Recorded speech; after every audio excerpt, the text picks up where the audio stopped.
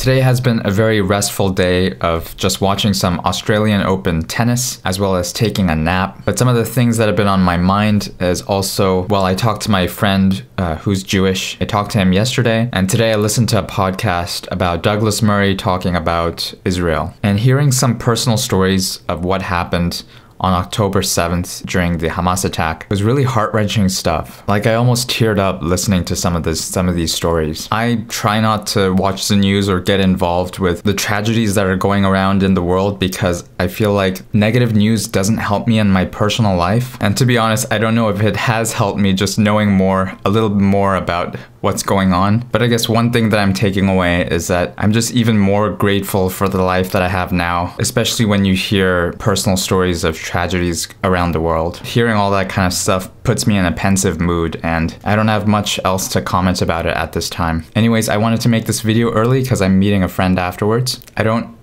particularly want to say my catchphrase right now because I'm also just resting and not necessarily getting 1% better today, but 1% better every day. Tigger came for morning cuddles again.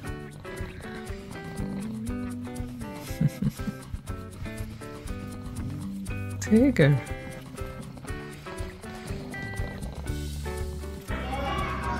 For peace. Happiness is watching tennis while Tigger is on my lap.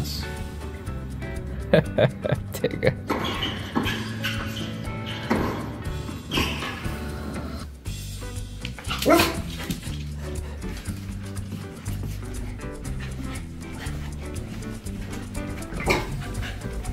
ha